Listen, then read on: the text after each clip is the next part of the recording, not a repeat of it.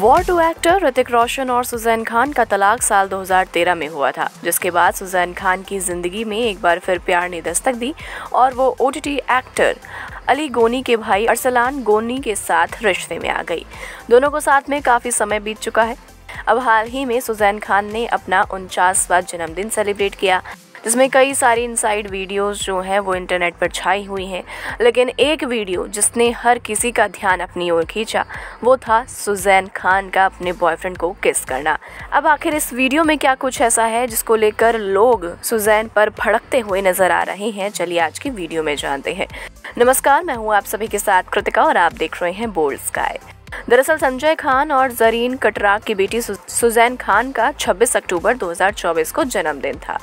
Suzanne ने अपने उनचासवें जन्मदिन को अपने कथित बॉयफ्रेंड अरसलान गोनी और करीबी दोस्तों के साथ मनाया। इस पार्टी में सुजैन खान के एक्स हस्बैंड और बॉलीवुड एक्टर ऋतिक रोशन और उनकी रूमर्ड गर्लफ्रेंड सबा आज़ाद भी नज़र आई। सबा ने एक अनदेखी तस्वीर अपने इंस्टाग्राम पर शेयर की है।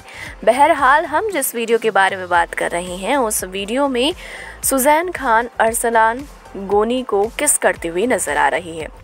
देखिए, वैसे तो ये दोनों रिलेशनशिप में है तो किस करना कोई इतना बड़ा इशू नहीं बनता है, लेकिन जहाँ लोगों ने सबका ध्यान खींचा, वो था उनके बच्चे और एक्स हस्बैंड जी हाँ अगर आप वीडियो को गौर से देखेंगे, तब आपको पता चलेगा कि जब सुजैन खान अपने बॉयफ्रेंड को किस कर रही होती हैं, तब उनके पीछे होते हैं ऋतिक रोशन और उनके बच्चे भी वहाँ पर मौजूद होते हैं और इसी को लेकर अब लोग सुजैन को जमकर ट्रोल कर रहे हैं। एक यूज़र ने कमेंट करते हुए लिखा कि बर्थडे सेलिब्रेट करने का तरीका थोड़ा कैजुअल है।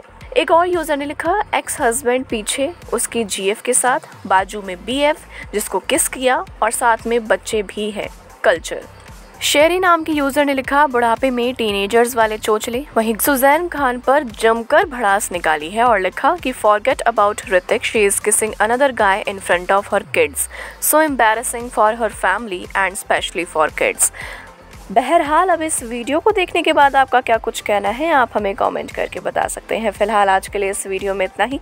और भी ऐसी स्टोरीज़ को देखने के लिए आप जुड़े रहिए हमारे साथ। तब तक के लिए नमस्कार।